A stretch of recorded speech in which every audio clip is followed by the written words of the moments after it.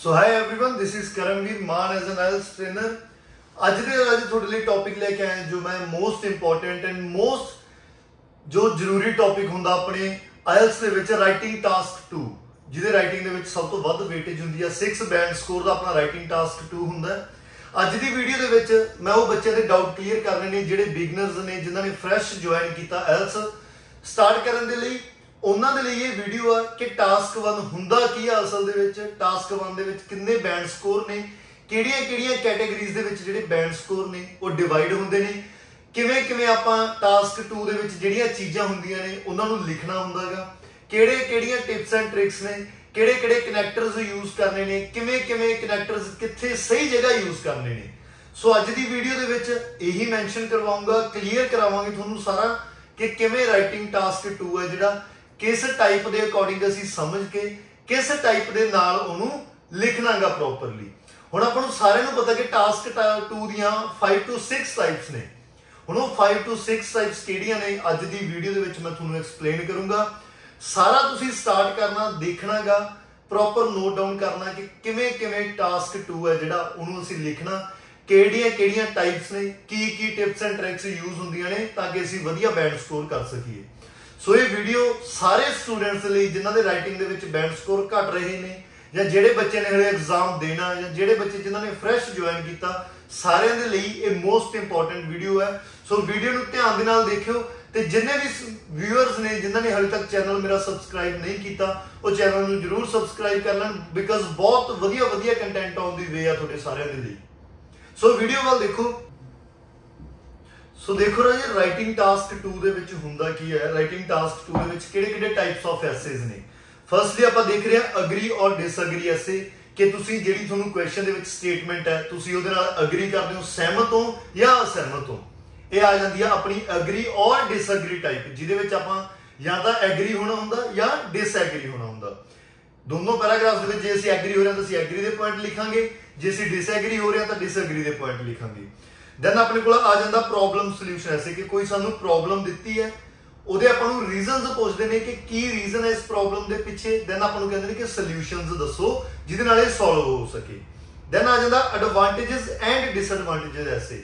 ਕੋਈ ਸਾਨੂੰ fact given ਹੁੰਦਾ ਰਹੇ ਕੁਝ ਵੀ ਆਪਾਂ ਨੂੰ ਉਹ ਦੇ ਦਿੰਦੇ ਨੇ ਸਟੇਟਮੈਂਟ ਕਿ ਇਸ ਚੀਜ਼ ਕਰਕੇ ਆਹ ਚੀਜ਼ਾਂ ਹੋ ਰਹੀਆਂ। ਹੁਣ ਤੁਸੀਂ ਦੱਸੋ ਵੀ ਇਹਦੀਆਂ ਐਡਵਾਂਟੇजेस ਜ਼ਿਆਦੇ ਨੇ ਜਾਂ ਡਿਸਐਡਵਾਂਟੇजेस ਜ਼ਿਆਦੇ ਨੇ। ਹੁਣ ਆਪਾਂ ਜਿਹਦਾ ਐਡਵਾਂਟੇਜਸ ਜ਼ਿਆਦਾ ਨੇ ਤਾਂ ਐਡਵਾਂਟੇਜਸ ਬਾਰੇ ਲਿਖਣਾ ਡਿਸਐਡਵਾਂਟੇਜਸ ਜ਼ਿਆਦਾ ਨਹੀਂ ਤਾਂ ਉਹਦੇ ਬਾਰੇ ਲਿਖਣਾਗਾ। ਦੈਨ ਆ ਜਾਂਦਾ ਐਡਵਾਂਟੇਜਸ ਆਊਟਵੇ ਡਿਸਐਡਵਾਂਟੇਜਸ ਕਿ ਐਡਵਾਂਟੇਜਸ ਜ਼ਿਆਦਾ ਨੇ ਜਾਂ ਡਿਸਐਡਵਾਂਟੇਜਸ ਜ਼ਿਆਦਾ ਨੇ? ਵੀ ਕਿਹੜੀਆਂ ਓਵਰਵੇਟ ਕਰ ਰਹੀਆਂ ਨੇ, ਜ਼ਿਆਦਾ ਕਿਹੜੀਆਂ ਨੇ? ਉਹ ਆ ਜਾਂਦਾਗਾ।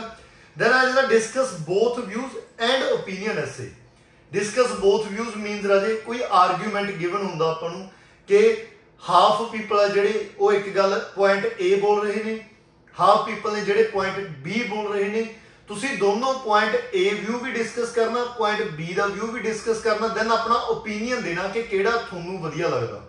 ਇਹ ਆ ਜਾਂਦਾ ਆਪਣਾ discuss both views essay. Then ਆ ਜਾਂਦਾ ਰਾਜੇ to what extent do you agree or disagree ਹੁਣ what extent do you agree or disagree means ਕਿ ਤੁਸੀਂ ਕਿੰਨੀ ਕੁ ਹੱਦ ਤੱਕ ਸਹਿਮਤ ਹੋ, ਕਿੰਨੀ ਕੁ ਹੱਦ ਤੱਕ ਤੁਸੀਂ ਅਸਹਿਮਤ ਹੋ, ਉਹ ਸਾਨੂੰ ਦੱਸੋ। ਇਹਦੇ ਚ ਆਪਾਂ 70 30 ਜਾਂਦੇ ਹੁੰਦੇ ਆ, ਤੁਹਾਨੂੰ ਸਾਰਿਆਂ ਨੂੰ ਪਤਾ ਹੋਊਗਾ। ਐਗਰੀ ਡਿਸਐਗਰੀ ਵਾਲੇ ਦੇ ਵਿੱਚ 70 30 ਜਾਂਦੇ ਹੁੰਦੇ ਆ। 70 ਜੇ ਤੁਸੀਂ ਐਗਰੀ ਹੋ ਰਹੇ ਹੋ ਤਾਂ 70% ਐਗਰੀ ਦੇ ਪੁਆਇੰਟ ਜੇ ਡਿਸ ਐਗਰੀ ਹੋ ਰਹੇ ਹੋ 30% ਡਿਸਐਗਰੀ ਦੇ। ਸੇਮ ਵਾਈਸ ਵਰਸਾ ਜੇ ਤੁਸੀਂ ਡਿਸਐਗਰੀ ਹੋਣਾ ਤਾਂ ਵੀ 70% ਜੇ ਐਗਰੀ ਹੋਣਾ ਫਿਰ 30% ਇਹ ਆਪਣੇ ਕੋਲੇ 6 ਮੇਨ ਟਾਈਪਸ ਨੇ ਰਾਜੀ। ਇਹ 6 ਟਾਈਪ ਆਫ ਐਸੇਜ਼ ਨੇ ਆਪਣੇ ਕੋਲੇ। ਹੁਣ ਇਹਦੇ ਵਿੱਚ ਟਾਸਕ 2 ਦੇ ਵਿੱਚ ਆਪਣੇ ਕੋਲੇ ਹੁੰਦਾ ਕੀ ਹੈਗਾ? ਟਾਸਕ 2 ਕਾਦਾ ਬਣਿਆ ਹੁੰਦਾ, ਕੀ ਕੀ ਕੰਪਲੀਸ਼ਨ ਹੁੰਦੀ ਉਹਦੇ ਵਿੱਚ ਉਹ ਦੇਖੋ। ਟਾਸਕ 2 ਦੇ ਵਿੱਚ ਬੱਚੇ ਇੰਟਰੋਡਕਸ਼ਨ ਸਭ ਤੋਂ ਪਹਿਲੇ ਪੁਆਇੰਟ ਤੇ ਆਉਂਦਾ ਇੰਟਰੋਡਕਸ਼ਨ ਜਿਹੜੀ ਅਸੀਂ ਸਟੇਟਮੈਂਟ ਸਾਨੂੰ ਕੋਈ ਗਿਵਨ ਹੁੰਦੀ ਆ, ਅਸੀਂ ਉਹਨੂੰ ਲਿਖਦੇ ਆਂਗੇ ਉਹਦੇ ਆਪਾਂ ਨੂੰ ਮਿਲਦੇ ਨੇਗੇ ਪੁਆਇੰਟ 5 ਐਂਡ ਫਿਰ ਸਾਡੇ ਕੋਲ ਆ ਜਾਂਦਾ ਬਾਡੀ ਪੈਰਾਗ੍ਰਾਫ 1 ਜਿਹਦੇ ਵਿੱਚ ਅਸੀਂ ਪਹਿਲਾ ਵਿਊ ਡਿਸਕਸ ਕਰਦੇ ਆ ਜਿਹਦੇ ਵਿੱਚ ਅਸੀਂ ਐਡਵਾਂਟੇजेस ਦੱਸਦੇ ਆ ਡਿਸਐਡਵਾਂਟੇजेस ਦੱਸਦੇ ਆ ਅਗਰੀ ਹੁੰਦੇ ਆ ਡਿਸਐਗਰੀ ਹੁੰਦੇ ਆ ਬਾਡੀ ਪੈਰਾਗ੍ਰਾਫ 1 ਉਹਦੇ ਆਪਾਂ ਨੂੰ ਮਿਲਦੇ ਨੇ 2.5 ਬੈਂਡ 2.5 ਬੈਂਡ ਸਾਨੂੰ ਬਾਡੀ ਪੈਰਾਗ੍ਰਾਫ 1 ਦੇ ਮਿਲਦੇ ਨੇ ਤੇ 2.5 ਬੈਂਡ ਹੀ ਸਾਨੂੰ ਬਾਡੀ ਪੈਰਾਗ੍ਰਾਫ 2 ਦੇ ਮਿਲਦੇ ਨੇਗੇ। ਹੁਣ ਇਹਦੇ ਦੇ ਨਾਲ ਲਾਸਟ ਤੇ ਆ ਜਾਂਦਾ ਕਨਕਲੂਜਨ ਕਨਕਲੂਜਨ ਦਾ ਵੀ ਸਾਡੇ ਕੋਲੇ ਹਾਫ ਬੈਂਡ ਹੁੰਦਾ। ਟੋਟਲ 5 ਬੈਂਡ ਆਪਣੇ ਕੋਲੇ ਬਾਡੀ ਪੈਰਾਗ੍ਰਾਫ ਦੇ ਵਨ ਬੈਂਡ ਆਪਣੇ ਕੋਲੇ ਇੰਟਰੋਡਕਸ਼ਨ ਪਲੱਸ ਕਨਕਲੂਜਨ ਦਾ। ਸੋ ਇਹ ਹੁੰਦਾ ਟੋਟਲ ਟਾਸਕ 2 ਰਾਜੇ ਆਪਣਾ 6 ਬੈਂਡ ਸਕੋਰ ਦਾ। ਹੁਣ 6 ਬੈਂਡ ਸਕੋਰ ਆਪਾਂ ਕਰਨੇ ਕਿਵੇਂ ਨੇ? ਇੰਟਰੋਡਕਸ਼ਨ ਨੂੰ ਲਿਖਣ ਦਾ ਤਰੀਕਾ ਕੀ ਆ? ਕਿ ਇੰਟਰੋਡਕਸ਼ਨ ਕਿਵੇਂ ਲਿਖਣੀ ਆ? ਦੈਨ ਬਾਡੀ ਪੈਰਾਗ੍ਰਾਫ 1 ਸਟਾਰਟ ਕਿਵੇਂ ਕਰਨਾ? ਕਨੈਕਟਰ ਕਿਹੜੇ ਯੂਜ਼ ਕਰਨੇ ਨੇਗੇ, ਕਿਹੜੇ ਨਹੀਂ ਯੂਜ਼ ਕਰਨੇ? ਜੇਕਰ ਬਾਡੀ ਪੈਰਾਗ੍ਰਾਫ 2 ਕਰ ਰਹੇ ਆ, ਤਾਂ ਕਿਹੜੇ ਕਨੈਕਟਰ ਯੂਜ਼ ਕਰਨੇ ਆ, ਕਿਹੜੇ ਨਹੀਂ ਕਰਨੇ? ਸੋ ਇਹ ਮੋਸਟ ਇੰਪੋਰਟੈਂਟ ਚੀਜ਼ ਸੀ ਰਾਜੀ ਵੀ ਟਾਸਕ 2 ਦੇ ਵਿੱਚ ਇੰਟਰੋਡਕਸ਼ਨ ਦੋ ਬਾਡੀ ਪੈਰਾਗ੍ਰਾਫਸ ਇੱਕ ਕਨਕਲੂਜਨ ਇਹ ਚਾਰ ਚੀਜ਼ਾਂ ਹੁੰਦੀਆਂ ਨੇ, ਚਾਰਾਂ ਨੂੰ ਮਿਲਾ ਕੇ ਇੱਕ ਟਾਸਕ 2 ਬਣਦਾ, ਜਿਹੜਾ ਕਿ 6 ਬੈਂਡ ਸਕੋਰ ਦਾ ਹੁੰਦਾਗਾ। ਹੁਣ ਨੈਕਸਟ ਆਪਾਂ ਦੇਖਾਂਗੇ ਰਾਜੇ ਕਿ ਇਹਨੂੰ ਹਾਊ ਟੂ ਰਾਈਟ ਐਨ ਐਸੇ ਐਸੇ ਨੂੰ ਲਿਖਣਾ ਕਿਵੇਂ ਆ? ਹੁਣ ਤੁਹਾਨੂੰ ਸਾਰਿਆਂ ਨੂੰ ਪਤਾ ਰਾਜੇ ਕਿ ਇੰਟਰੋਡਕਸ਼ਨ ਹੈ। ਇੰਟਰੋਡਕਸ਼ਨ ਦੇ ਵਿੱਚ ਹੁੰਦਾ ਰੀਫਰੇਸ ਪਲੱਸ ਥੀਸਿਸ ਇਹ ਦੋ ਪੁਆਇੰਟਸ ਨੂੰ ਮਿਲਾ ਕੇ ਇੰਟਰੋਡਕਸ਼ਨ ਬਣਦੀ ਹੈ ਜਿਹਦੇ ਸਾਨੂੰ ਹਾਫ ਬੈਂਡ ਸਕੋਰ ਮਿਲਦੇ ਨੇ। ਹੁਣ ਇੰਟਰੋਡਕਸ਼ਨ ਰੀਫਰੇਸ ਕਿਹੜੀ ਸਟੇਟਮੈਂਟ ਨੂੰ ਕਰਨਾ? ਥੀਸਿਸ ਸਟੇਟਮੈਂਟ ਕਿਹੜੀ ਨੂੰ ਕਰਨਾ? ਅੱਧੇ ਬੱਚਿਆਂ ਨੂੰ ਤਾਂ ਇਹੀ ਨਹੀਂ ਪਤਾ। ਕਿ ਇੰਟਰੋਡਕਸ਼ਨ ਵਿੱਚ ਰੀਫਰੇਜ਼ ਕਿਹੜੀ ਲਾਈਨ ਕਰੀਏ ਸਰ ਥੀਸਿਸ ਸਟੇਟਮੈਂਟ ਸਾਨੂੰ ਨਹੀਂ ਸਮਝ ਆਉਂਦੀ ਕਿ ਕਿਵੇਂ ਲਿਖੀਏ। ਹੁਣ ਇਹਦੇ ਵਿੱਚ ਮੋਟਾ-ਮੋਟਾ ਇੱਕ ਪੁਆਇੰਟ ਸਮਝ ਲਓ ਕਿ ਜੇ ਇੰਟਰੋਡਕਸ਼ਨ ਲਿਖਣੀ ਆ, ਤਾਂ ਜਿਹੜੀ ਬੈਕਗ੍ਰਾਉਂਡ ਸਟੇਟਮੈਂਟ ਆ, ਕੋਈ ਵੀ ਸਾਨੂੰ ਵਿਊ ਗਿਵਨ ਹੋਊਗਾ, ਉਹਨੂੰ ਤਾਂ ਅਸੀਂ ਕਰਾਂਗੇ ਰੀਫਰੇਜ਼ ਤੇ ਜਿਹੜੀ ਆ ਗਈ ਥੀਸਿਸ ਸਟੇਟਮੈਂਟ ਥੀਸਿਸ ਸਟੇਟਮੈਂਟ ਕਿਹੜੀ ਆਊਗੀ? ਥੀਸਿਸ ਵਾਲੀ ਆ ਜੇ ਚਾਹੇ ਸਾਡੇ ਕੋਲ ਵੀ ਤੁਸੀਂ ਅਗਰੀ ਡਿਸਐਗਰੀ ਹੋ, ਵੀ ਇਹਦੇ ਐਡਵਾਂਟੇजेस ਜ਼ਿਆਦਾ ਨੇ ਜਾਂ ਡਿਸਐਡਵਾਂਟੇजेस ਜ਼ਿਆਦਾ ਨੇ। ਪ੍ਰੋਬਲਮ ਸੋਲੂਸ਼ਨ ਐਸੇ ਆ ਵੀ ਪ੍ਰੋਬਲਮ ਕਿਹੜੀ ਆ ਸੋਲੂਸ਼ਨ ਕੀ ਆ ਇਹਦੇ? ਇਹ ਸਾਰੀਆਂ ਨੂੰ ਮਿਲਾ ਕੇ ਥੀਸਿਸ ਸਟੇਟਮੈਂਟ ਬਣਦੀ ਆ, ਜਿਹੜੀ ਵੀ ਸਾਨੂੰ ਟੌਪਿਕ ਆਊਗਾ, ਅਸੀਂ ਉਹ ਸਟੇਟਮੈਂਟ ਦੇ ਅਕੋਰਡਿੰਗ ਇਹਨੂੰ ਚੇਂਜ ਕਰ ਲਾਂਗੇ। ਹੁਣ ਦੇਖੋ, ਇਹਦੇ ਵਿੱਚ ਮੈਂ ਤੁਹਾਨੂੰ ਇਹੀ ਸਮਝਾਇਆ ਹੋਇਆ ਕਿ ਰੀਫਰੇਜ਼ ਕਰਨਾਗਾ ਅਸੀਂ ਬੈਕਗ੍ਰਾਉਂਡ ਸਟੇਟਮੈਂਟ ਨੂੰ, ਜਿਹੜਾ ਵੀ ਸਾਨੂੰ ਵਿਊ ਜਿਹੜਾ ਵੀ ਸਾਨੂੰ ਫੀਨੋਮੀਨਨ ਗਿਵਨ ਹੋਊਗਾ, ਉਹਨੂੰ ਅਸੀਂ ਰੀਫਰੇਜ਼ ਕਰਾਂਗੇ। ਧਿਆਨ ਦੇ ਨਾਲ ਸੁਣ ਲਓ, ਜਿਹੜੀ ਬੈਕਗ੍ਰਾਉਂਡ ਸਟੇਟਮੈਂਟ ਹੋਊਗੀ ਉਹਨੂੰ ਅਸੀਂ ਰੀਫਰੇਜ਼ ਕਰਨਾਗਾ ਥੀਸਿਸ ਸਟੇਟਮੈਂਟ ਆਲਵੇਜ਼ ਹੋਊਗੀ ਕੁਐਸਚਨ ਸਟੇਟਮੈਂਟ ਵੀ ਜਿਹਦੇ ਵਿੱਚ ਐਗਰੀ ਡਿਸਐਗਰੀ ਵਾਲਾ ਪੁਆਇੰਟ ਆ ਗਿਆ ਕੋਈ ਐਡਵਾਂਟੇਜ ਡਿਸਐਡਵਾਂਟੇਜ ਆ ਗਿਆ ਡਿਸਕਸ ਬੋਥ ਵਿਊਜ਼ ਆ ਗਿਆ ਇਸ ਤਰ੍ਹਾਂ ਦੀਆਂ ਜਿਹੜੀਆਂ ਕੁਐਸਚਨ ਸਟੇਟਮੈਂਟਸ ਹੁੰਦੀਆਂ ਨੇ ਉਹ ਹੁੰਦੀ ਆ ਆਪਣੀ ਥੀਸਿਸ ਸਟੇਟਮੈਂਟ ਤਾਂ ਇਹ ਦੋ ਚੀਜ਼ਾਂ ਨੇ ਪਹਿਲਾਂ ਉਹਨੂੰ ਰੀਫਰੇਜ਼ ਕਰਨਾ ਹੁਣ ਰੀਫਰੇਜ਼ ਤੋਂ ਮਤਲਬ ਕੀ ਸਮਝਦੇ ਰਾਜੇ ਸੀ ਰੀਫਰੇਜ਼ ਦਾ मीनिंग ਹੁੰਦਾ ਰਾਜੇ ਕਿ ਅਸੀਂ ਉਹਦੇ ਨਾਲ ਸਿਨੋਨੀਮਸ ਲਾਉਣੇ ਆਂਗੇ ਸਿਨੋਨੀਮਸ ਯੂਜ਼ ਕਰਕੇ ਉਹਨੂੰ ਆਪਣੀ ਵਰਡਿੰਗ ਦੇ ਵਿੱਚ ਕਨਵਰਟ ਕਰਨਾ। ਸੋ ਹੁੰਦਾ ਰੀਫਰੇਜ਼ ਥੀਸਿਸ ਕੀ ਹੁੰਦਾਗਾ? ਜਿਹੜੀ ਆਪਾਂ ਬੋਥ ਵਿਊਜ਼ ਵਾਲੀ ਦੱਸਣੀ ਆ ਕਿ ਮੈਂ ਐਗਰੀ ਕਰਦਾ ਜਾਂ ਡਿਸਐਗਰੀ ਕਰਦਾ। ਹੁਣ ਇਹ ਤਾਂ ਹੋ ਗਈ ਇੰਟਰੋਡਕਸ਼ਨ ਹੁਣ ਆ ਜਿਹੜਾ ਜੇ ਬਾਡੀ ਪੈਰਾਗ੍ਰਾਫ 1 ਐਂਡ 2 ਤੇ। ਦੇਖੋ ਬਾਡੀ ਪੈਰਾ 1 ਹੁੰਦਾ ਬਾਡੀ ਪੈਰਾਗ੍ਰਾਫ 2 ਹੁੰਦਾ। ਹੁਣ ਬਾਡੀ ਪੈਰਾਗ੍ਰਾਫ 1 ਦੇ ਵਿੱਚ ਆਪਾਂ ਮੇਨ ਪੁਆਇੰਟ ਡਿਸਕਸ ਕਰਨਾ। ਲਗਾ ਲਓ ਤੁਸੀਂ ਵੀ ਮੈਂ ਅਗਰੀ ਆ। ਆਪਣੇ ਕੋਲ ਇੱਕ ਐਗਰੀ ਡਿਸਐਗਰੀ ਪੁਆਇੰਟ ਆ। ਬੋਡੀ ਪੈਰਾਗ੍ਰਾਫ ਦੇ ਵਿੱਚ 2 ਦੇ ਵਿੱਚ, ਮੈਂ ਤੁਹਾਨੂੰ ਕੀ ਦੱਸਿਆ ਸੀ ਵੀ ਆਪਾਂ ਡਿਸਐਗਰੀ ਦੇ ਪੁਆਇੰਟ ਮੈਂਸ਼ਨ ਕਰਨੇ ਨੇ। ਹੁਣ ਮੰਨ ਲਓ ਮੈਂ ਅਗਰੀ ਆ ਤਾਂ ਮੈਂ ਐਗਰੀ ਵਾਲਾ ਪੁਆਇੰਟ ਇੱਥੇ ਪਹਿਲਾਂ ਐਕਸਪਲੇਨ ਕਰੂੰਗਾ। ਫਿਰ ਮੈਂ ਮੇਨ ਪੁਆਇੰਟ 2 ਆ ਜਿਹੜਾ ਉਹ ਡਿਸਐਗਰੀ ਵਾਲਾ। ਪਹਿਲਾਂ ਇੱਕ ਪੁਆਇੰਟ ਸਮਝ ਲਓ। ਮੰਨ ਲਓ ਮੈਂ ਕਿਸੇ ਵੀ ਸਟੇਟਮੈਂਟ ਦੇ ਨਾਲ ਐਗਰੀ ਕਰਦਾ, ਮੈਂ ਬੋਡੀ ਪੈਰਾਗ੍ਰਾਫ 1 ਲਿਖਣਾ ਚਾਹ ਰਿਹਾ। ਉਹਦੇ ਵਿੱਚ ਜਿਹੜਾ ਮੇਨ ਪੁਆਇੰਟ ਹੋਊਗਾ, ਉਹ ਮੈਂ ਐਗਰੀ ਦਾ ਲਿਖੂੰਗਾ। ਉਹ ਮੇਨ ਪੁਆਇੰਟ ਨੂੰ ਲਿਖ ਕੇ, ਉਹਦੇ ਨਾਲ ਉਹ ਪੁਆਇੰਟ ਨੂੰ ਐਕਸਪਲੇਨ ਕਰੂੰਗਾ। ਮੇਨ ਪੁਆਇੰਟ ਨੂੰ ਐਕਸਪਲੇਨ ਕਰੂੰਗਾ। ਮੇਨ ਪੁਆਇੰਟ ਸਟਾਰਟ ਕਰਨ ਦਾ ਵੇ ਕੀ ਹੈਗਾ? To commence with first and foremost to start with to begin with why I agree with this statement ਇਹ ਆਪਣੇ ਕੋਲੇ ਆ ਜਾਊਗਾ ਮੇਨ ਪੁਆਇੰਟ ਮੇਨ ਪੁਆਇੰਟ ਕਰਨ ਤੋਂ ਬਾਅਦ ਉਹਨੂੰ ਐਕਸਪਲੇਨ ਕਰਨਾ। ਐਕਸਪਲੇਨ ਕਰਕੇ ਉਹਦੇ ਕੋਈ ਰਿਲੇਟਡ ਐਗਜ਼ਾਮਪਲ ਦੇਣੀ ਆ। ਕਿ ਇਹ ਚੀਜ਼ ਹੋ ਰਹੀ ਹੈ ਤਾਂ ਆਹ ਸਰਵੇ ਹੋਇਆ ਸੀ, ਕੋਈ ਆਹ ਸਟੱਡੀ ਹੋਈ ਸੀ ਜਿਹਦੇ ਵਿੱਚ ਸਾਨੂੰ ਇਹਦੇ ਬਾਰੇ ਪਤਾ ਲੱਗਿਆ। ਦੈਨ ਅਸੀਂ ਉਹਦਾ ਰਿਜ਼ਲਟ ਮੈਂਸ਼ਨ ਕਰਨਾ। ਐਗਜ਼ਾਮਪਲ ਮੈਂਸ਼ਨ ਕਰਨੀ ਕੋਈ ਜ਼ਰੂਰੀ ਨਹੀਂ ਹੈ ਰਾਜੇ। ਜੇ ਤੁਸੀਂ ਇੱਥੇ ਮੇਨ ਪੁਆਇੰਟ ਇੱਕ ਲਿਖ ਰਹੇ ਹੋ, ਤਾਂ ਤੁਸੀਂ ਇੱਥੇ ਦੋ ਪੁਆਇੰਟਸ ਵੀ ਲਿਖ ਸਕਦੇ ਹੋ। ਪਰ ਦੋਨਾਂ ਨੂੰ ਐਕਸਪਲੇਨ ਪੂਰੇ ਵਧੀਆ ਢੰਗ ਦੇ ਨਾਲ ਕਰਨਾ। ਦੈਨ ਉਹਨਾਂ ਦਾ ਰਿਜ਼ਲਟ ਮੈਂਸ਼ਨ ਕਰ ਦੇਣਾ ਕਿ ਜਿਹੜੀਆਂ ਇਹ ਦੋ ਚੀਜ਼ਾਂ ਹੋ ਰਹੀਆਂ, ਇਹਨਾਂ ਦਾ ਰਿਜ਼ਲਟ ਇਹ ਨਿਕਲ ਕੇ ਆਉਂਦਾ, ਨਤੀਜਾ ਇਹ ਨਿਕਲਦਾ ਇਹਨਾਂ ਦਾ। ਸੋ ਇਹ ਬੋਡੀ ਪੈਰਾਗ੍ਰਾਫ 1 ਦਾ ਤਰੀਕਾ ਰਾਜੇ। ਦੁਬਾਰਾ ਸਮਝ ਲਓ, ਪਹਿਲਾਂ ਆਪਾਂ ਲਿਖਣਾ ਮੇਨ ਪੁਆਇੰਟ ਕਿ ਮੈਂ ਕਿਉਂ ਐਗਰੀ ਕਰਨਾ। ਮੰਨ ਲਓ ਅਸੀਂ ਇੱਕ ਪੁਆਇੰਟ ਲਿਖ ਲਿਆ। ਫਿਰ ਮੈਂ ਉਹਨੂੰ ਕੀ ਕਰਨਾਗਾ? ਐਕਸਪਲੇਨ ਕਰਨਾ। ਜੇ ਤੁਹਾਡੇ ਕੋਲ ਐਗਜ਼ਾਮਪਲ ਨਹੀਂ ਹੈਗੀ, ਮੰਨ ਲਓ ਜੇ ਐਗਜ਼ਾਮਪਲ ਹੈਗੀ ਫਿਰ ਤਾਂ ਐਗਜ਼ਾਮਪਲ ਪਾ ਕੇ ਉਹਦਾ ਰਿਜ਼ਲਟ ਮੈਂਸ਼ਨ ਕਰਨਾ। ਬਾਈ ਚਾਂਸ ਤੁਹਾਡੇ ਕੋਲ ਐਗਜ਼ਾਮਪਲ ਨਹੀਂ ਹੈਗੀ। ਜੇ ਐਗਜ਼ਾਮਪਲ ਨਹੀਂ ਹੈਗੀ, ਤਾਂ ਅਸੀਂ ਇੱਕ ਪੁਆਇੰਟ ਦੀ ਜਗ੍ਹਾ ਦੂਸਰਾ ਪੁਆਇੰਟ ਵੀ ਐਡ ਕਰ ਸਕਦੇ ਹਾਂ ਆਪਣੇ ਬੋਡੀ ਪੈਰਾਗ੍ਰਾਫ ਦੇ ਵਿੱਚ।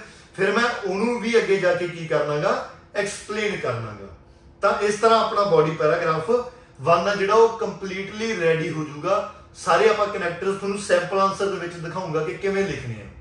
ਹੁਣ ਦੇ ਨੈਕਸਟ ਦੇਖੋ ਬਾਡੀ ਪੈਰਾਗ੍ਰਾਫ 2 ਹੁਣ ਬਾਡੀ ਪੈਰਾਗ੍ਰਾਫ ਦੇ ਵਿੱਚ 2 ਦੇ ਵਿੱਚ ਕੀ ਆ ਕਿ ਮੈਂ ਤਾਂ ਜੀ ਡਿਸਐਗਰੀ ਕਰਦਾ ਸਟੇਟਮੈਂਟ ਦੇ ਨਾਲ। ਡਿਸਐਗਰੀ ਕਿਉਂ ਕਰਦਾ? ਮੇਰਾ ਮੇਨ ਪੁਆਇੰਟ ਹੈ ਇਹ। ਆ ਮੇਰਾ ਮੇਨ ਪੁਆਇੰਟ ਆ 2 ਕਿ ਮੈਂ ਕਿਉਂ ਡਿਸਐਗਰੀ ਕਰ ਰਿਹਾ? ਫਿਰ ਮੈਂ ਉਹ ਪੁਆਇੰਟ ਨੂੰ ਐਕਸਪਲੇਨ ਕਰੂੰਗਾ। ਫਿਰ ਉਸ ਦੇ ਰਿਲੇਟਡ ਐਗਜ਼ਾਮਪਲ ਦੇ ਕੇ ਉਹਦਾ ਰਿਜ਼ਲਟ ਮੈਂਸ਼ਨ ਕਰੂੰਗਾ। ਸੇਮ ਇਸ ਸਾਈਡ ਆ, ਜੇ ਐਗਜ਼ਾਮਪਲ ਨਹੀਂ ਹੈਗੀ ਮੇਨ ਪੁਆਇੰਟ ਇੱਕ ਲਿਖ ਕੇ, ਦੋ ਪੁਆਇੰਟ ਆ ਜਿਹੜੇ ਤੁਸੀਂ ਉਹਨਾਂ ਨੂੰ ਲਿਖ ਕੇ ਉਹਨਾਂ ਨੂੰ ਐਕਸਪਲੇਨ ਕਰ ਦੇਣਾ ਤੇ ਤੁਹਾਡੇ 2.5 ਬੈਂਡ ਨੇ ਜਿਹੜੇ ਪਰ ਬਾਡੀ ਪੈਰਾਗ੍ਰਾਫ ਕਿਤੇ ਨਹੀਂ ਗਏ। ਜੇਕਰ ਅਸੀਂ ਵਧੀਆ ਵਿਦਆਊਟ ਸਪੈਲਿੰਗ ਮਿਸਟੇਕ ਵਧੀਆ ਸਿਨੋਨੀਮਸ ਵਧੀਆ ਕਨੈਕਟਰਸ ਨੂੰ ਯੂਜ਼ ਕਰਕੇ ਲਿਖ ਰਹੇ ਹਾਂ। ਸੋ ਇਹ ਤਾਂ ਸੀਗਾ ਰਾਜੇ ਬਾਡੀ ਪੈਰਾਗ੍ਰਾਫਸ ਬਾਰੇ। ਨੈਕਸਟ ਆ ਜੂਗਾ ਰਾਜੇ ਕਨਕਲੂਜਨ ਹੁਣ ਕਨਕਲੂਜਨ ਦੇ ਵਿੱਚ ਕੀ ਹੁੰਦਾ ਰਾਜੇ? ਆ ਦੋ ਕਨੈਕਟਰਸ ਨੇਗੇ ਜਿਨ੍ਹਾਂ ਨਾਲ ਅਸੀਂ ਕਨਕਲੂਜਨ ਸਟਾਰਟ ਕਰਦੇ ਹਾਂ। To conclude in conclusion in conclusion ਹੁਣ ਉਸ ਤੋਂ ਬਾਅਦ ਅਸੀਂ ਰੀਫਰੇਜ਼ ਕਰਨੇ ਆ ਰਾਜੇ। ਸਾਡਾ ਮੇਨ ਪੁਆਇੰਟ 1 ਮੇਨ ਪੁਆਇੰਟ 1 ਕਿਹੜਾ ਹੋ ਜਾਊਗਾ? ਜਿਹੜਾ ਅਸੀਂ BP 1 ਦੇ ਵਿੱਚ ਲਿਖ ਰਹੇ ਹਾਂ ਤੇ ਮੇਨ ਪੁਆਇੰਟ 2 ਮੇਨ ਪੁਆਇੰਟ ਕਿਹੜਾ ਹੋ ਜਾਊਗਾ? ਜਿਹੜਾ ਅਸੀਂ BP 2 ਦੇ ਵਿੱਚ ਲਿਖ ਰਹੇ ਹਾਂ। ਇਹਨਾਂ ਦੋਨਾਂ ਪੁਆਇੰਟਸ ਨੂੰ ਅਸੀਂ ਕੀ ਕਰ ਦੇਣਾਗਾ ਰੀਫਰੇਜ਼ ਕਰ ਦੇਣਾ ਤਾਂ ਕਿ ਸਾਨੂੰ ਕਲੀਅਰ ਹੋ ਜੇ ਕਿ ਸਾਡਾ ਇਹ ਕਨਕਲੂਜਨ ਦੇ ਵਿੱਚ ਮੈਂ ਦੱਸਿਆ ਵੀ ਇਹ ਨਤੀਜਾ ਨਿਕਲ ਰਿਹਾ। ਪਹਿਲਾਂ ਮੇਨ ਪੁਆਇੰਟ ਜਿਹੜਾ ਮੈਂ ਦੱਸਿਆ, ਮੰਨ ਲਓ ਪ੍ਰੋਬਲਮ ਆ, ਵੀ ਇਹ ਪ੍ਰੋਬਲਮ ਇਹਦੇ, ਇਹ ਰੀਜ਼ਨ ਨੇ, ਇਸ ਰੀਜ਼ਨ ਕਰਕੇ ਪ੍ਰੋਬਲਮ ਹੋ ਰਹੀ ਹੈ।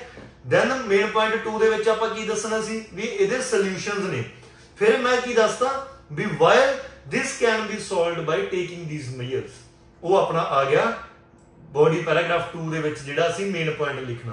ਉਹਨਾਂ ਦੋਨਾਂ ਨੂੰ ਕਰਕੇ ਰੀਫਰੇਜ਼ ਲਿਖਤਾ। 0.5 ਬੈਂਡ ਸਕੋਰ ਸਾਡੇ ਕਨਕਲੂਜਨ ਦੇ ਵਿੱਚ ਪੱਕੇ ਹੋ ਗਏ। ਤੁਹਾਡੇ 0.5 ਹਾਫ ਬੈਂਡ ਸਕੋਰ ਤੁਹਾਡਾ ਕੋਈ ਨਹੀਂ ਖੋ ਸਕਦਾ ਉਥੋਂ। ਤਾਂ ਇਹ ਸੀਗਾ ਰਾਜੇ। ਸਟਰਕਚਰ ਟੋਟਲ ਸਟਰਕਚਰ ਆਪਣਾ ਟਾਸਕ 2 ਦਾ ਕਿ ਕਿਵੇਂ ਕਿਵੇਂ ਟਾਸਕ 2 ਪਹਿਲਾਂ ਆਪਾਂ ਦੇਖੀਆਂ ਨੇ ਟਾਈਪਸ ਕੀ ਨੇ ਐਸਐਸ ਦੀਆਂ? ਫਿਰ ਅਸੀਂ ਦੇਖਿਆ ਕਿ ਕਿੰਨੇ ਕਿੰਨੇ ਬੈਂਡ ਕੈਟਾਗਰੀਜ਼ ਨੇ, ਕਿਵੇਂ ਕਿਵੇਂ ਡਿਵਾਈਡ ਹੁੰਦੇ ਆ, ਜਿਹੜੇ 6 ਬੈਂਡਸ ਨੇ। ਫਿਰ ਅਸੀਂ ਦੇਖਿਆ ਕਿ ਐਸੇ ਨੂੰ ਲਿਖਣਾ ਕਿਵੇਂ ਆ ਇੰਟਰੋਡਕਸ਼ਨ ਕਿਵੇਂ ਲਿਖਣੀ ਆ। ਫਿਰ ਅਸੀਂ ਦੇਖਿਆ ਬੋਡੀ ਪੈਰਾਗ੍ਰਾਫ 1 ਤੇ 2 ਕਿਵੇਂ ਲਿਖਣਾ। ਫਿਰ ਅਸੀਂ ਦੇਖਿਆ ਕਨਕਲੂਜਨ ਕਿਵੇਂ ਲਿਖਣਾ। ਹੁਣ ਇਸ ਦੇ ਨਾਲ ਹੀ ਤੁਹਾਨੂੰ ਇੱਕ ਸੈਂਪਲ ਆਨਸਰ ਲੈ ਕੇ ਤੁਹਾਨੂੰ ਮੈਂ ਇਹ ਕਲੀਅਰ ਆਊਟ ਕਰਵਾਉਣਾ ਕਿ ਕਿਵੇਂ ਆਪਾਂ ਇੰਟਰੋਡਕਸ਼ਨ ਰੀਫਰੇਸ ਤੇ ਥੀਸਿਸ ਕਰਨੀ ਹੈਗੀ ਉਹਦੇ ਵਿੱਚ। ਕਿਵੇਂ ਬਾਡੀ ਪੈਰਾਗ੍ਰਾਫ 1 ਦੇ ਵਿੱਚ ਅਸੀਂ ਸਟਾਰਟ ਕਰਨਾ ਮੇਨ ਪੁਆਇੰਟ ਲਿਖਣੇ ਨੇ ਕਿਵੇਂ ਬਾਡੀ ਪੈਰਾਗ੍ਰਾਫ 2 ਕਰਨਾ ਹੈ ਤੇ ਕਿਵੇਂ ਕਨਕਲੂਜਨ ਨੂੰ ਅਸੀਂ ਵਧੀਆ ਤਰੀਕੇ ਦੇ ਨਾਲ ਲਿਖ ਸਕਦੇ ਹਾਂ। ਸੋ ਸਾਰੇ ਧਿਆਨ ਦੇ ਨਾਲ ਸੈਂਪਲ ਆਨਸਰ ਦੇਖਿਓ ਰਾਜੇ। ਹੁਣ ਸੈਂਪਲ ਆਨਸਰ ਰਾਜੇ ਮੋਸਟ ਇੰਪੋਰਟੈਂਟ ਚੀਜ਼ ਹੁੰਦੀ ਹੈਗੀ ਆਪਣੇ ਲਈ। ਹੁਣ ਤੁਸੀਂ ਸੈਂਪਲ ਆਨਸਰ ਦੇਖੋ, ਮੈਂ ਇੱਕ ਸਟੇਟਮੈਂਟ ਲਈ ਆ ਰਾਜੇ। ਸਟੇਟਮੈਂਟ ਕੀ ਹੈਗੀ ਆਪਣੇ ਕੋਲੇ? ਕਿ some businesses find that their new employees lack basic interpersonal skills such as cooperative skills. ਹੁਣ ਉਹਨਾਂ ਨੇ ਕਿਹਾ ਰਾਜੇ ਕਿ ਕਈ ਬਿਜ਼ਨਸ ਨੇ ਜਿਹੜੇ ਉਹ ਉਹਨਾਂ ਨੂੰ ਪਤਾ ਲੱਗਦਾਗਾ ਵੀ ਜਿਹੜੇ ਉਹਨਾਂ ਦੇ ਨਿਊ EMPLOYEES ਨੇ, ਨਵੇਂ EMPLOYEES ਨੇ, ਉਹਨਾਂ ਦੇ ਵਿੱਚ ਘਾਟ ਆ ਗਈ, ਕਮੀ ਆ ਗਈ ਕਾਦੀ ਬੇਸਿਕ ਇੰਟਰਪਰਸਨਲ ਸਕਿੱਲਸ ਦੀ ਵੀ ਉਹਨਾਂ ਦੇ ਵਿੱਚ ਲੋਕਾਂ ਨਾਲ ਡੀਲ ਕਰਨ ਦੀਆਂ ਸਕਿੱਲਸ ਬਹੁਤ ਜ਼ਿਆਦਾ ਘੱਟ ਨੇਗੀਆਂ ਉਹਨਾਂ ਨੇ ਇਹ ਸਾਨੂੰ ਸਟੇਟਮੈਂਟ ਦਿੱਤੀ। ਨੈਕਸਟ ਉਹਨਾਂ ਨੇ ਸਾਨੂੰ ਪੁੱਛਿਆ ਕਿ ਕਿ what are the causes suggest possible solution ਵੀ ਇਹਦੇ ਪਿੱਛੇ ਕਾਰਨ ਕੀ ਕੀ ਨੇ? ਸਾਨੂੰ ਇਹਦੇ ਸੋਲੂਸ਼ਨ ਦੱਸੋ ਵੀ ਇਹਨੂੰ ਕਿਵੇਂ ਸੋਲਵ ਕੀਤਾ ਜਾ ਸਕਦਾ। ਤਾਂ ਹੁਣ ਸਾਨੂੰ ਇੱਥੋਂ ਇੰਨਾ ਤਾਂ ਪਤਾ ਲੱਗ ਗਿਆ ਰਾਜੇ ਕਿ ਇਹ ਜਿਹੜਾ ਸਟੇਟਮੈਂਟ ਆ ਸਾਡੀ, ਇਹ ਕਾਦੀ ਹੈਗੀ? ਆਪਣੇ ਕੋਲੇ ਕਿਹੜੀ ਟਾਈਪ ਆ? ਸਾਨੂੰ ਦੇਖ ਕੇ ਪਤਾ ਲੱਗ ਗਿਆ ਕਿ ਇਹ ਇੱਕ ਪ੍ਰੋਬਲਮ ਸੋਲੂਸ਼ਨ ਐਸੇ ਆ ਵੀ ਕਿਹੜੀਆਂ ਕਿਹੜੀਆਂ ਪ੍ਰੋਬਲਮਸ ਨੇ, ਜਿਵੇਂ ਜਿਹੜੀ ਆ ਪ੍ਰੋਬਲਮ ਹੈ ਉਹ ਕਿਉਂ ਆ ਰਹੀ ਆ? ਫਿਰ ਉਹਨਾਂ ਨੇ ਕਿਹਾ ਸਾਨੂੰ ਵੀ ਉਹਦੇ ਸਾਨੂੰ ਸੋਲੂਸ਼ਨ ਦੱਸੋ, ਕੀ ਨੇਗੇ? ਸਾਨੂੰ ਕਲੀਅਰ ਆਊਟ ਹੋ ਗਿਆ ਕਿ ਪ੍ਰੋਬਲਮ ਸੋਲੂਸ਼ਨ ਐਸੇ ਆ ਗਏ ਹੁਣ ਨੈਕਸਟ ਅਸੀਂ ਕਰਨਾ ਕੀ ਹੈ ਇਹਦੇ ਵਿੱਚ ਰਾਜੇ? ਇੰਟਰੋਡਕਸ਼ਨ ਇੰਟਰੋਡਕਸ਼ਨ ਵਿੱਚ ਮੈਂ ਤੁਹਾਨੂੰ ਕੀ ਕਿਹਾ? ਰੀਫਰੇਜ਼ ਪਲੱਸ ਥੀਸਿਸ ਦੋ ਹੀ ਚੀਜ਼ਾਂ ਕਰਨੀਆਂ ਨੇ। ਹੁਣ ਰੀਫਰੇਜ਼ ਆਪਾਂ ਕਿਹੜੀ ਸਟੇਟਮੈਂਟ ਕਰਨੀ ਹੈ ਰਾਜੇ? ਆਪਣੀ ਕੁਐਸਚਨ ਆਪਣੀ ਬੈਕਗ੍ਰਾਉਂਡ ਸਟੇਟਮੈਂਟ ਜਿਹੜੀ ਆਪਾਂ ਨੂੰ ਗਿਵਨ ਹੁੰਦੀ ਆ। ਮੈਂ ਤੁਹਾਨੂੰ ਦੱਸਿਆ ਸੀ, ਕੋਈ ਵੀ ਫੈਕਟ ਜਿਹੜਾ ਸਾਨੂੰ ਗਿਵਨ ਆ। ਇਹ ਕਿਹੜੀ ਸਟੇਟਮੈਂਟ ਹੋਊਗੀ ਆਪਣੀ? ਬੈਕਗ੍ਰਾਉਂਡ ਸਟੇਟਮੈਂਟ ਜਿਹੜਾ ਆ what are the causes and suggest possible solutions ਇਹ ਕੀ ਹੋ ਗਿਆ ਰਾਜੇ? ਆਪਣੀ ਇਹ ਥੀਸਿਸ ਸਟੇਟਮੈਂਟ ਹੋਗੀ ਆ ਬਾਡੀ ਸਟੇਟਮੈਂਟ ਆ ਕੀ ਹੋਗੀ ਥੀਸਿਸ ਸਟੇਟਮੈਂਟ ਇੱਥੋਂ ਤੁਹਾਨੂੰ ਕਲੀਅਰ ਹੋ ਗਿਆ ਹੋ ਕਿ ਰੀਫਰੇਜ਼ ਹੁੰਦੀ ਹੈ ਕਿ? ਬੈਕਗ੍ਰਾਉਂਡ ਸਟੇਟਮੈਂਟ ਜੇ ਜਿਹੜੀ ਥੀਸਿਸ ਲਿਖਦੇ ਆ, ਉਹ ਸੀ ਲਿਖਦੇ ਆ ਕੁਐਸਚਨ ਸਟੇਟਮੈਂਟ ਇਹ ਕਲੀਅਰ ਆਊਟ ਹੋ ਗਿਆ। ਹੁਣ ਇਹਦੀ ਐਗਜ਼ਾਮਪਲ ਕੀ ਆ? ਸੈਂਪਲ ਆਨਸਰ ਦੇ ਵਿੱਚ ਦੇਖਦੇ ਆਪਾਂ ਕਿ ਇੰਟਰੋਡਕਸ਼ਨ ਕਿਵੇਂ ਲਿਖੀਏ, ਕਿਵੇਂ ਉਹਨੂੰ ਰੀਫਰੇਸ ਕਰੀਏ, ਕਿਵੇਂ ਥੀਸਿਸ ਲਾਈਨ ਲਿਖੀਏ। ਹੁਣ ਦੇਖੋ ਰਾਜੇ ਇੰਟਰੋਡਕਸ਼ਨ ਜਿਹੜੀ ਮੈਂ ਤੁਹਾਡੇ ਲਈ ਲਿਖੀ ਹੈਗੀ, ਉਹ ਇੰਟਰੋਡਕਸ਼ਨ ਕੀ ਆ? ਉਹਨਾਂ ਨੇ ਕਿਹਾ ਸੀ ਕਿ ਸਮ ਬਿਜ਼ਨੈਸਸ ਫਾਈਂਡ ਡੈਟ ਵੀ ਉਹਨਾਂ ਨੂੰ ਪਤਾ ਲੱਗਦਾਗਾ ਵੀ ਉਹ ਯਕੀਨ ਕਰਦੇ ਨੇ ਉਹ ਚੀਜ਼ ਤੇ ਵੀ ਜਿਹੜੇ ਉਹਨਾਂ ਦੇ ਨਵੇਂ EMPLOYE ਨੇ, ਜਿਹੜੇ ਨਵੇਂ ਕੰਮ, ਕੰਮਿਆਂ ਨੂੰ ਉਹ ਰੱਖਦੇ ਨੇ ਆਪਣੀ ਜੌਬ ਦੇ ਉੱਪਰ, ਉਹਨਾਂ ਦੇ ਵਿੱਚ ਆ ਸਕਿੱਲਸ ਦੀ ਘਾਟ ਹੁੰਦੀ ਆ। ਹੁਣ ਅਸੀਂ ਕੀ ਲਿਖ ਲਿਆ? it is believed by a few EMPLOYERS ਹੁਣ ਫਿਊ EMPLOYERS ਵਰਡ ਕਿਹਦੀ ਜਗ੍ਹਾ ਆਪਾਂ ਯੂਜ਼ ਕਰ ਲਿਆ ਸਮ ਬਿਜ਼ਨੈਸਸ ਦੀ ਜਗ੍ਹਾ ਸਾਨੂੰ ਇਹਦਾ ਸਿਨੋਨਿਮ ਪਤਾ ਸੀ ਸਮ ਬਿਜ਼ਨਸ ਦੀ ਜਗ੍ਹਾ ਅਸੀਂ ਕੀ ਲਿਖ ਲਿਆ ਫਿਊ EMPLOYERS ਕੀ ਬਲੀਵ ਕਰਦੇ ਨੇ ਡੈਟ देयर ਨਿਊ EMPLOYERS ਆਪਾਂ ਕੀ ਲਿਖ ਲਿਆ that there new workers new EMPLOYERS EMPLOYE ਕੀ ਹੁੰਦਾ ਰਾਜੇ ਜਿਹੜਾ ਵਰਕਰ ਹੁੰਦਾ ਕੋਈ ਕੰਮ ਕਰਦਾ ਤਾਂ ਆਪਾਂ ਕੀ ਲਿਖ ਲਿਆ ਡੈਟ देयर ਨਿਊ ਵਰਕਰ ਉਹਨਾਂ ਨੇ ਕਿਹਾ ਲੈਕ ਲੈਕ ਮੀਨਸ ਕਿ ਉਹਨਾਂ ਦੇ ਵਿੱਚ ਇਹ ਸਕਿੱਲਸ ਨਹੀਂ ਹੁੰਦੀਆਂ ਆਪਾਂ ਕੀ ਲਿਖ ਲਿਆ ਡੂ ਨਾਟ ਪੋਜੈਸ ਉਹਨਾਂ ਨੇ ਕਿਹਾ ਕਿਹੜੀਆਂ ਸਕਿੱਲਸ ਨਹੀਂ ਹੁੰਦੀਆਂ interpersonal skills such as cooperative skills ਤਾਂ ਅਸੀਂ ਕੀ ਲਿਖ ਲਿਆ fundamental social abilities interpersonal skills ਵੀ ਉਹੀ ਹੋ ਗਈਆਂ ਰਾਜੇ ਕਿ ਜਿਹੜੀਆਂ ਫੰਡਾਮੈਂਟ ਸੋਸ਼ਲ ਸਕਿੱਲਸ ਘੱਟ ਨੇ ਲੋਕਾਂ ਨਾਲ ਮਿਲਣਸਾਰ ਨਹੀਂ ਹੈਗੇ ਉਹਨਾਂ ਦੇ ਵਿੱਚ ਇਹ ਕਮੀਆਂ ਨੇ ਤਾਂ ਅਸੀਂ ਇਹ ਲਾਈਨ ਨੂੰ ਰੀਫਰੇਜ਼ ਕੀਤਾ ਇੱਥੇ ਤੱਕ ਰੀਫਰੇਜ਼ ਕੀਤਾ ਕਿਵੇਂ ਉਹਨਾਂ ਨੇ ਕਿਹਾ ਸਮ ਬਿਜ਼ਨਸ ਆਪਾਂ ਕੀ ਲਿਖ ਲਿਆ? ਫਿਊ EMPLOYERS ਉਹਨਾਂ ਨੇ ਕਿਹਾ ਨਿਊ EMPLOYEES ਅਸੀਂ ਕੀ ਲਿਖ ਲਿਆ? ਨਿਊ ਵਰਕਰਸ ਉਹਨਾਂ ਨੇ ਕਿਹਾ ਲੈਕ ਆਪਾਂ ਕੀ ਲਿਖ ਲਿਆ? ਡੂ ਨਾਟ ਪੋਜੈਸ ਉਹਨਾਂ ਨੇ ਕਿਹਾ ਇੰਟਰਪਰਸਨਲ ਸਕਿੱਲਸ ਆਪਾਂ ਕੀ ਲਿਖ ਲਿਆ? ਫੰਡਾਮੈਂਟਲ ਸੋਸ਼ਲ ਅਬਿਲਿਟੀ ਸਾਨੂੰ ਸਿਨੋਨੀਮ ਆਉਂਦੀ ਸੀ। ਸਰ ਨੇ ਸਾਨੂੰ ਵਧੀਆ ਢੰਗ ਦੇ ਨਾਲ ਦਿਖਾਤਾ ਕਿ ਇਸ ਤਰੀਕੇ ਨਾਲ ਅਸੀਂ ਇਹ ਚੀਜ਼ ਨੂੰ ਲਿਖ ਸਕਦੇ ਹਾਂਗੇ। ਹੁਣ ਇਸ ਤੋਂ ਬਾਅਦ, ਇਹ ਤਾਂ ਆਪਣੀ ਕੀ ਹੋਗੀ ਰੀਫਰੇਜ਼ ਜਿਹੜਾ ਆਪਾਂ ਨੂੰ ਕੁਐਸਚਨ ਸੀਗਾ, ਉਹ ਰੀਫਰੇਜ਼ ਕੰਪਲੀਟ ਹੋ ਗਿਆ। ਰੀਫਰੇਜ਼ ਤੋਂ ਬਾਅਦ ਉਹਨਾਂ ਨੇ ਕੀ ਕਿਹਾ ਵਾਟ ਆਰ ਦਾ ਕਾਜ਼ਸ ਵੀ ਇਹਦੇ ਰੀਜ਼ਨ ਕੀ ਕੀ ਨੇ ਹੁਣ ਦੇਖੋ ਉਹ ਆਪਾਂ ਕਿਵੇਂ ਲਿਖੀ देयर आर मैनी फैक्टर्स ਉਹਨਾਂ ਨੇ ਕਿਹਾ ਸੀ ਕਾਜ਼ਸ ਆਪਾਂ ਕੀ ਲਿਖਤਾ there are many factors behind this situations ਅਸੀਂ ਕੀ ਲਿਖਤਾ ਕਿ देयर आर ਵੇਰੀਅਸ ਫੈਕਟਰਸ ਬਹੁਤ ਸਾਰੇ ਫੈਕਟਰਸ ਨੇ ਫਿਰ ਉਹਨਾਂ ਨੇ ਕਿਹਾ ਸੁਜੈਸਟ ਪੋਸੀਬਲ ਸੋਲੂਸ਼ਨ ਵਾਇਲ ਉਹਨਾਂ ਆਪਾਂ ਕੀ ਲਿਖਿਆ there are many factors behind this situation ਇਹ ਫੈਕਟਰ ਦੇ ਬਹੁਤ ਜ਼ਿਆਦਾ ਰੀਜ਼ਨਸ ਨੇ ਇਹਦੇ ਪਿੱਛੇ। ਵਾਇਲ ਜਦਕਿ some steps can be taken ਅਸੀਂ ਕਈ ਸਟੈਪਸ ਲੈ ਸਕਦੇ ਹਾਂ। ਬਾਈ ਇੰਡੀਵਿਜੂਅਲ ਕੌਣ ਲੈ ਸਕਦਾ? ਇੰਡੀਵਿਜੂਅਲਸ ਤੇ ਸੁਸਾਇਟੀ ਕੱਲੇ ਕੱਲੇ ਪਰਸਨ ਵੀ ਲੈ ਸਕਦੇ ਨੇ ਸੁਸਾਇਟੀ ਰਲ ਮਿਲ ਕੇ ਵੀ ਲੈ ਸਕਦੀ ਆ। To mitigate it possible solution means ਕਿ ਪ੍ਰੋਬਲਮ ਨੂੰ ਸੋਲਵ ਕਰਨ ਦੇ ਲਈ। ਆਪਾਂ ਕੀ ਲਿਖਤਾ? ਸੋਲੂਸ਼ਨਸ ਟੂ ਮਿਟੀਗੇਟ ਇਟ ਹੁਣ ਇਹਦੇ ਵਿੱਚ ਆਪਾਂ ਇਹਨੂੰ ਕੀ ਕਰ ਲਿਆ? ਅਸੀਂ ਰੀਫਰੇਜ਼ ਕਰਤਾ। ਰੀਫਰੇਜ਼ ਕਰਕੇ ਅਸੀਂ ਇੱਥੇ ਥੀਸਿਸ ਲਾਈਨ ਦੱਸਤੀ ਕਿ ਬਹੁਤ ਸਾਰੇ ਫੈਕਟਰਸ ਨੇ ਜੀ ਇਹਦੇ ਪਿੱਛੇ। ਇਹਨਾਂ ਦੇ ਸੋਲੂਸ਼ਨਸ ਵੀ ਬਹੁਤ ਸਾਰੇ ਨੇ, ਜਿਹੜੇ ਕਿ ਇੰਡੀਵਿਜੂਅਲਸ ਲੈ ਸਕਦੇ ਨੇ ਸੋਸਾਇਟੀ ਲੈ ਸਕਦੀ ਆ, ਤੇ ਜਿਹਦੇ ਨਾਲ ਇਹ ਪ੍ਰੋਬਲਮ ਸੋਲਵ ਹੋ ਸਕਦੀ ਆ। ਸੋ ਇਹ ਤਾਂ ਦੇਖੋ ਰਾਜੇ, ਬਹੁਤ ਵਧੀਆ ਢੰਗ ਦੇ ਨਾਲ ਆਪਣੀ ਇੰਟਰੋਡਕਸ਼ਨ ਬਣ ਗਈ। ਹੁਣ ਨੈਕਸਟ ਆਪਾਂ ਦੇਖਣਾਗਾ ਬਾਡੀ ਪੈਰਾਗ੍ਰਾਫ 1 ਬਾਡੀ ਪੈਰਾਗ੍ਰਾਫ 1 ਮੈਂ ਤੁਹਾਨੂੰ ਕੀ ਕਿਹਾ ਸੀ ਰਾਜੇ ਵੀ ਸਟਾਰਟ ਕਿਵੇਂ ਕਰਨਾ ਆਪਾਂ। ਦੇਖੋ ਮੈਂ ਰੈੱਡ ਕਲਰ ਦੇ ਵਿੱਚ ਹਾਈਲਾਈਟ ਕੀਤੇ ਹੋਏ ਨੇ ਸਾਰੇ ਵਰਡਸ ਆਪਾਂ ਕੀ ਲੈ ਲਿਆ ਟੂ ਕਮੈਂਸ ਵਿਦ ਹੁਣ ਆਪਣੇ ਕੋਲੇ ਪ੍ਰੋਬਲਮ ਐਂਡ ਸੋਲੂਸ਼ਨ ਐਸੇ ਹੈਗਾ ਪ੍ਰੋਬਲਮ ਐਂਡ ਸੋਲੂਸ਼ਨ ਐਸੇ ਆਪਾਂ ਕੀ ਲਿਖ ਲਿਆ there are abundant reasons abundant reason means we there are many reasons for the lack of interpersonal skills in budding employees budding employees means ਵੀ ਜਿਹੜੇ new employees ਨੇ ਵੀ ਬਹੁਤ ਸਾਰੇ ਰੀਜ਼ਨਸ ਨੇ abundant reasons for the lack of interpersonal skills ਵੀ ਇਹ skills ਉਹਨਾਂ ਦੇ ਵਿੱਚ ਹੈ ਨਹੀਂ ਇਹਦੇ ਪਿੱਛੇ ਬਹੁਤ ਸਾਰੇ ਰੀਜ਼ਨਸ ਨੇ ਆਪਾਂ ਉਸ ਤੋਂ ਬਾਅਦ ਕਨੈਕਟਰ ਯੂਜ਼ ਕੀਤਾ ਰਾਜੇ ਆਹ ਦਾ biggest culprit responsible for this phenomenon is ਹੁਣ ਕਿੱਥੇ ਦਾ ਅਸੀਂ ਲਿਖਣਾ ਸੀ ਦਾ ਫਰਸਟ ਰੀਜ਼ਨ ਇਜ਼ ਅਸੀਂ ਇੱਕ ਵਧੀਆ ਢੰਗ ਦੇ ਨਾਲ ਸਾਨੂੰ ਕਨੈਕਟਰ ਆਉਂਦਾਗਾ ਅਸੀਂ ਕਨੈਕਟਰ ਯੂਜ਼ ਕੀਤਾ the biggest culprit responsible for this phenomenon is the dependency on technology of today's youth. ਵੀ ਇਹਦਾ ਸਭ ਤੋਂ ਵੱਡਾ ਰੀਜ਼ਨ ਕੀ ਆ?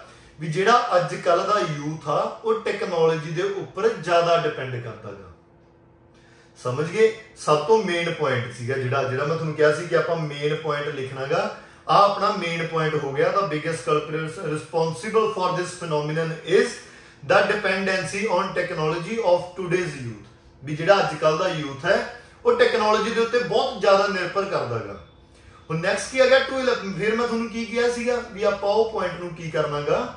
ਐਕਸਪਲੇਨ ਕਰਨਾਗਾ। ਹੁਣ ਐਕਸਪਲੇਨ ਕਰਨ ਦੇ ਲਈ ਕਨੈਕਟਰ ਆਪਾਂ ਕੀ ਯੂਜ਼ ਕਰ ਲਿਆ? ਟੂ ਇਲੈਬੋਰੇਟ ਇਟ ਮੋਰ ਵੀ ਇਹਨੂੰ ਜ਼ਿਆਦਾ ਇਲੈਬੋਰੇਟ ਕਰਦਾ। ਮੈਂ ਇਹਦੇ ਬਾਰੇ ਜ਼ਿਆਦਾ ਦੱਸ ਦਾਂਗਾ। Youngsters, these remain glued to their devices such as mobile phones, laptop in their room for long hours, which make them isolated from the society ਵੀ ਟੈਕਨੋਲੋਜੀ ਦੇ ਉੱਤੇ ਡਿਪੈਂਡ ਕਰਦੇ ਨੇ। ਹੁਣ ਟੈਕਨੋਲੋਜੀ ਕੀ ਆ? ਸਾਡੇ ਕੋਲ ਸੈਲ ਫੋਨ ਆ, ਸਾਡੇ ਕੋਲ ਲੈਪਟਾਪ ਆ। ਅਸੀਂ ਬਾਹਰ ਜਾ ਕੇ ਤਾਂ ਕਿਦਾਂ ਚਲਾਉਂਦੇ ਸੀ ਆਪਣੇ ਰੂਮ ਦੇ ਵਿੱਚ ਬੈਠ ਕੇ ਅਸੀਂ ਆਈਸੋਲੇਟ ਹੋ ਕੇ ਚਲਾਉਂਦੇ ਆ।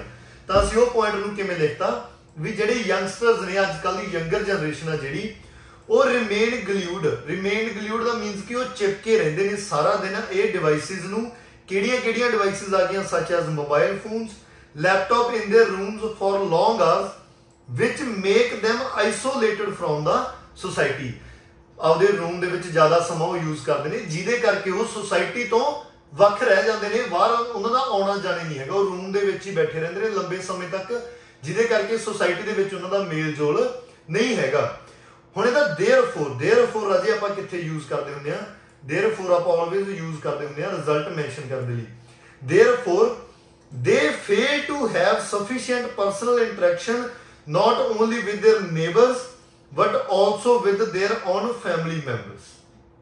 ਵੀ ਇਹਦੇ, ਇਹਦਾ ਕਰਕੇ ਇਫੈਕਟ ਕੀ ਪੈਂਦਾ? ਵੀ ਉਹ ਜ਼ਿਆਦਾ ਟੈਕਨੋਲੋਜੀ ਤੇ ਡਿਪੈਂਡ ਨੇ। ਇਹਦੇ ਕਰਕੇ ਉਹਨਾਂ ਦੇ ਉੱਪਰ ਇਫੈਕਟ ਕੀ ਪੈਂਦਾ? ਕਿ ਉਹਨਾਂ ਦੀ ਜਿਹੜੀ ਪਰਸਨਲ ਇੰਟਰੈਕਸ਼ਨ ਆ, ਨਾ ਤਾਂ ਉਹ ਉਹਨਾਂ ਦੇ ਨੇਬਰਸ ਨਾਲ ਹੁੰਦੀ ਹੈਗੀ, ਘਟ ਜਾਂਦੀ ਹੈਗੀ। ਜਦ ਕਿ ਅੱਜ ਆਪਾਂ ਕੰਪਲੈਕਸ ਸੈਂਟੈਂਸ ਯੂਜ਼ ਕੀਤਾ not only but also have sufficient personal interaction, not only with their neighbors but also with their own family members. ਕਿ ਉਹਨਾਂ ਦੀ ਜਿਹੜੀ ਇੰਟਰੈਕਸ਼ਨ ਆ, ਉਹ ਨੇਬਰਸ ਦੇ ਨਾਲ ਤਾਂ ਘਟਦੀ ਘਟਦੀ ਆ, ਪਰ ਪੇਰੈਂਟਸ ਦੇ ਨਾਲ ਵੀ ਉਹਨਾਂ ਦੀ ਜਿਹੜੀ ਬੌਂਡਿੰਗ ਆ, ਉਹ ਵੀਕ ਹੋ ਜਾਂਦੀ ਆ। ਉਦੋਂ ਬਾਅਦ ਰਿਜ਼ਲਟ ਕੀ ਆ? This could make them introvert ਜਿਹਦੇ ਕਰਕੇ ਉਹ ਇੰਟਰੋਵਰਟ ਬਣ ਜਾਂਦੇ ਨੇ। ਤਾਂ ਇਹ ਅਸੀਂ ਇੱਥੇ ਤੱਕ ਐਕਸਪਲੇਨ ਕੀਤਾ ਸਾਡਾ ਮੇਨ ਪੁਆਇੰਟ ਹੁਣ ਮੋਰ ਓਵਰ ਇੱਥੇ ਅਸੀਂ ਕੀ ਪੁਆਇੰਟ ਕਰ ਰਹੇ ਇੱਕ ਸੈਕਿੰਡ ਪੁਆਇੰਟ ਦੇ ਰਹੇ ਹਾਂਗੇ। Moreover schools are ignorant toward overall personality development of their learners as they emphasis mainly on their academic performance. ਕਿ moreover, ਹੋਰ ਕੀ ਰੀਜ਼ਨ ਆਗਾ? ਇੱਕ ਰੀਜ਼ਨ ਤਾਂ ਅਸੀਂ ਇੱਥੇ ਮੈਂਸ਼ਨ ਕਰਤਾ। ਦੂਸਰਾ ਰੀਜ਼ਨ ਮੈਂ ਇੱਥੇ ਦੱਸਣ ਜਾ ਰਿਹਾ, ਉਹ ਕੀ ਹੈਗਾ? ਕਿ ਜਿਹੜੇ ਸਕੂਲਸ ਨੇ, ਉਹ ਬਹੁਤ ਜ਼ਿਆਦਾ ਇਗਨੋਰ ਕਰਦੇ ਨੇ ਵੀ ਪਰਸਨੈਲਿਟੀ ਡਿਵੈਲਪਮੈਂਟ ਦੀ, ਉਹਨਾਂ ਦੇ ਲਰਨਰਸ ਦੀ। ਉਹ, ਉਹਦੇ ਉੱਪਰ ਧਿਆਨ ਨਹੀਂ ਦਿੰਦੇ ਕਿ ਉਹਨਾਂ ਦੀ ਪਰਸਨੈਲਿਟੀ ਨੂੰ ਡਿਵੈਲਪ ਕਰਨ।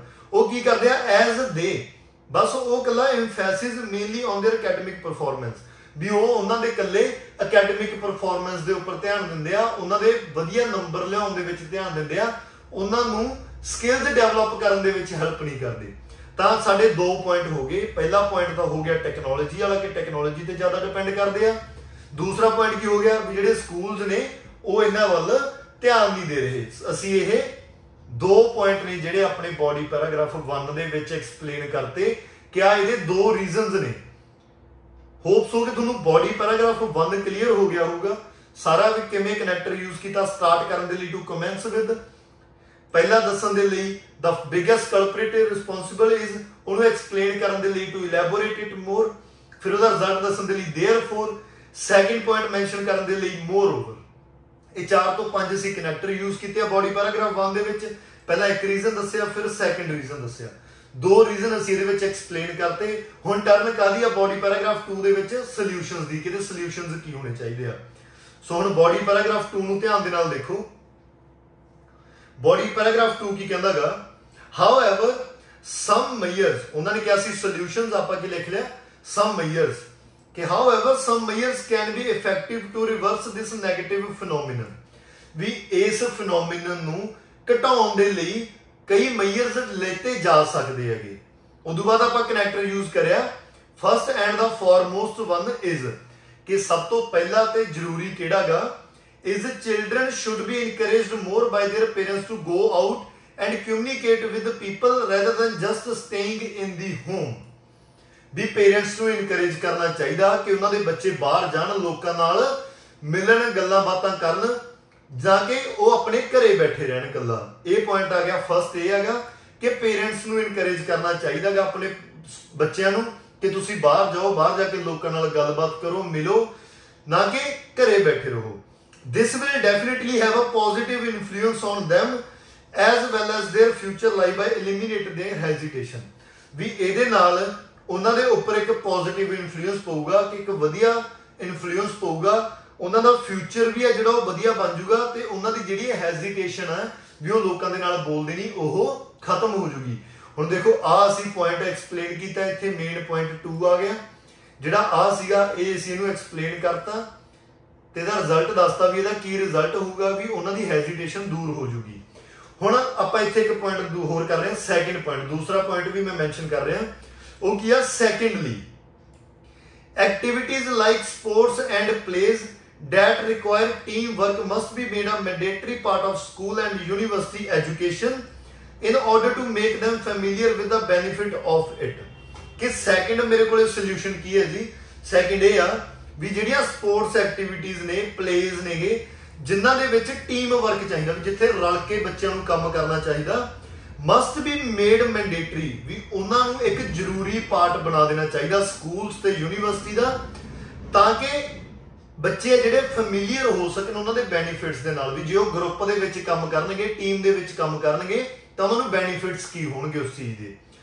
ਫਾਈਨਲੀ ਇੱਕ ਪੁਆਇੰਟ ਹੋਰ ਮੈਂਸ਼ਨ ਕਰ ਰਹੇ ਹਾਂ finally corporations can also provide such tasks to newcomers that require them to work in collaboration during their training period ਵੀ ਜਿਹੜੀਆਂ ਕੰਪਨੀਆਂ ਨੇਗੀਆਂ ਕਾਰਪੋਰੇਸ਼ਨਸ ਨੇ, ਉਹਨਾਂ ਨੂੰ ਵੀ ਇਸ ਤਰ੍ਹਾਂ ਦੇ ਟਾਸਕ ਬਣਾਉਣੇ ਚਾਹੀਦੇ ਨੇ ਨਿਊ ਕਮਰਸ ਦੇ ਲਈ ਨਿਊ ਵਰਕਰ ਦੇ ਲਈ, ਜਿਹੜੇ ਉਹਨਾਂ ਦੇ ਲਈ ਕੰਮ ਕਰ ਸਕਣ ਜਿਨ੍ਹਾਂ ਜਿਹਦੇ ਟਾਸਕ ਦੇ ਵਿੱਚ ਰਿਕੁਆਇਰਡ ਆ ਕਿ ਉਹ ਇੱਕ ਟੀਮ ਦੇ ਵਿੱਚ ਕੰਮ ਕਰਨ ਆਪਦੇ ਟ੍ਰੇਨਿੰਗ ਪੀਰੀਅਡ ਦੇ ਦੌਰਾਨ, ਤਾਂ ਕਿ ਉਹ ਵਧੀਆ ਮਿਲਣਸਾਰ ਕੋ ਗੱਲਾਂ ਬਾਤਾਂ ਕਰ ਸਕਣ ਹੈਜ਼ਿਟੇਸ਼ਨ ਦੂਰ ਕਰ ਸਕਣ। ਤਾਂ ਇਹਦੇ ਵਿੱਚ ਆਪਾਂ ਬੋਡੀ ਪੈਰਾਗ੍ਰਾਫ 2 ਦੇ ਵਿੱਚ ਆਪਾਂ ਕੀ ਕੀਤਾ? ਆਪਾਂ ਦੱਸਤਾ ਕਿ ਬਹੁਤ ਸਾਰੇ ਮੇਜਰਸ ਆਪਾਂ ਲੈ ਸਕਦੇ ਹਾਂ। ਫਿਰ ਅਸੀਂ ਪਹਿਲਾ ਮੇਜਰ ਮੈਂਸ਼ਨ ਕੀਤਾ, ਉਹਨੂੰ ਐਕਸਪਲੇਨ ਕੀਤਾ ਦੈਨ ਅਸੀਂ ਸੈਕਿੰਡ ਮੇਜਰ ਦਿੱਤਾ, ਫਿਰ ਅਸੀਂ ਥਰਡ ਦਿੱਤਾ।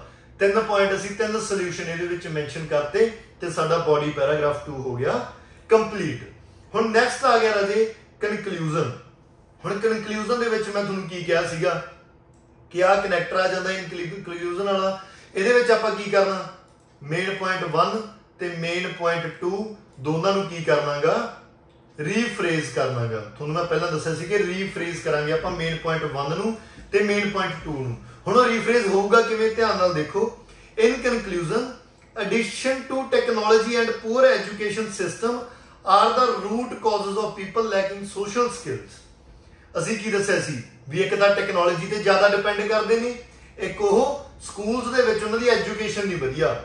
ਤਾਂ ਅਸੀਂ ਕੀ ਦੇਖਤਾ? Addiction to technology and poor education ਇਹ ਸੀਗਾ ਆਪਣਾ ਬਾਡੀ ਪੈਰਾਗ੍ਰਾਫ 1 ਦੇ ਪੁਆਇੰਟਸ ਯਾਨੀ ਕਿ ਮੇਨ ਪੁਆਇੰਟ 1 ਆਪਾਂ ਇਹਦੇ ਵਿੱਚ ਆ ਰੀਫਰੇਸ ਕਰਤਾ। ਦੈਨ ਅਗੇ ਕੀਆ and contribution from parents and authorities will prove worthwhile to sort out this issue ਵੀ ਜੇ ਪੇਰੈਂਟਸ ਤੇ ਅਥਾਰਟੀਜ਼ ਜੇ ਕੰਟਰੀਬਿਊਟ ਕਰਨਗੀਆਂ, ਤਾਂ ਉਹ ਵਧੀਆ ਸਾਬਿਤ ਹੋਊਗਾ ਇਸ ਇਸ਼ੂ ਨੂੰ ਸੋਲਵ ਕਰਨ ਦੇ ਲਈ। ਦੇਖੋ ਮੇਨ ਪੁਆਇੰਟ 1 ਆ ਅਥਾਰਟੀਜ਼ ਤੇ ਪੇਰੈਂਟਸ ਦਾ ਮੇਨ ਪੁਆਇੰਟ 2 ਦੋਨਾਂ ਨੂੰ ਅਸੀਂ ਕੀ ਕਰਤਾ?